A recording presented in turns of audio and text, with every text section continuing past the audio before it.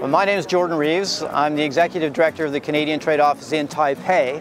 Um, I think this is great, celebrating 100 years. 祝台北市一百周年快乐。